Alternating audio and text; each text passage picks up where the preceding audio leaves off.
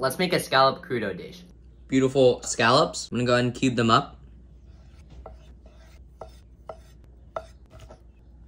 We'll add a tiny pinch of salt, squeeze of lemon juice, Imperia Kaluga Hybrid Reserve Caviar, our caviar, some chives, and I'll gently mix it up. I'll add our scallop mixture into a scallop shell.